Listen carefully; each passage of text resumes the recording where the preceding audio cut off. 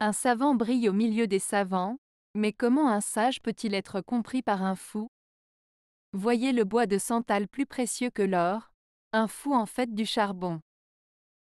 Proverbe tibétain. Ce proverbe tibétain souligne la différence entre un savant et un sage. Un savant, qui a accumulé beaucoup de connaissances et qui est reconnu par ses pairs, brille au milieu des autres savants qui peuvent apprécier et comprendre son savoir.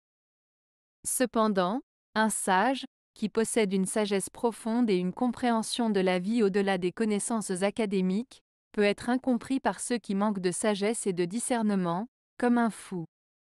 L'image du bois de santal plus précieux que l'or, transformé en charbon par un fou, illustre la manière dont la valeur véritable et profonde peut être méconnue ou détruite par ceux qui ne sont pas en mesure de la reconnaître.